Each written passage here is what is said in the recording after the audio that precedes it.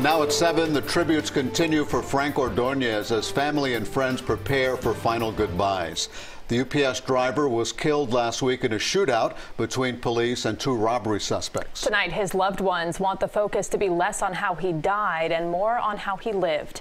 CBS 4's Hank Tester is in Miami with more on how Ordonez is being remembered. Hank. Well, we're at the Vior Funeral Home on 37th Avenue here in Miami. A steady stream of folks coming to pay respects. Today, a nationwide moment of silence for the slain UPS driver.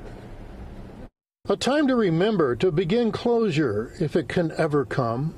Family, co-workers, friends gather a viewing for slain UPS driver Frank Ordonez.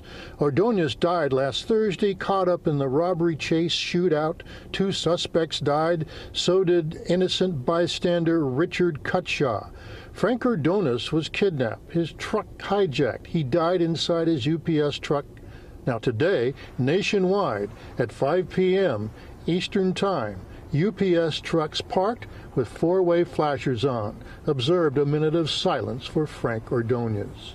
Frank, Frank was like, oh my gosh. Near tears, 15-year-old Genevieve Marino says it's painful to talk about her 27-year-old brother.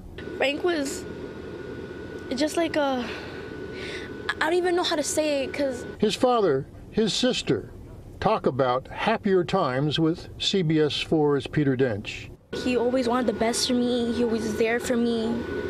You know, I'm never going to find someone like Frank ever again. And I know it because Frank was one of a kind. Of course he loved his family.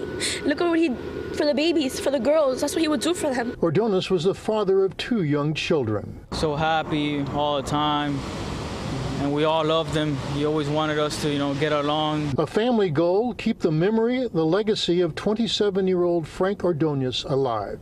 I, I want uh, Frank's legacy not to be forgotten. Um, we want Frank uh, to live through the media. Uh, you are the only ones. You're the only ones that are going to keep this alive. His his life alive well, back live here, the viewing will continue till 1 a.m., burial tomorrow. I'm Hank Tester, CBS 4 News at 7. Back to you. Hank, thank you. Frank Ordonez will be buried tomorrow afternoon at Vista Memorial Gardens and Funeral Home in Miami Lakes.